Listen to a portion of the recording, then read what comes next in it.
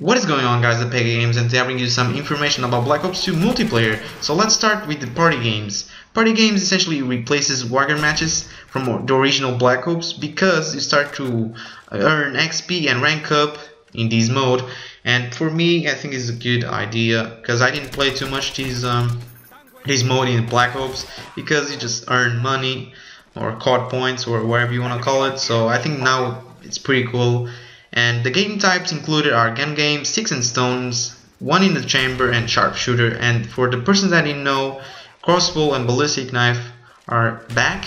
And crossbow uh, is going to be a little bit more futuristic and uh, for at least for me I think it's going to be pretty cool. Ballistic knife, I don't really know. I think it's going to be the same anyways. Combat training. Combat training is now integrated into the main game and will include three different modes at launch.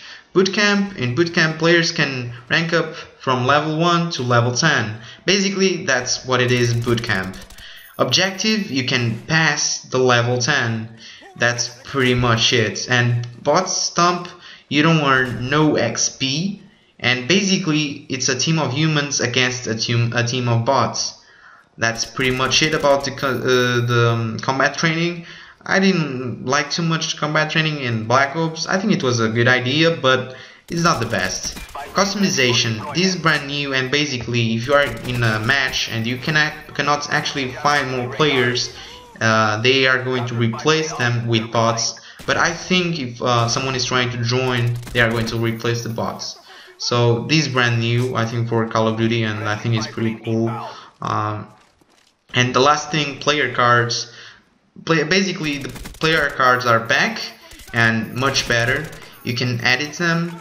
There will be 32 layers to work with.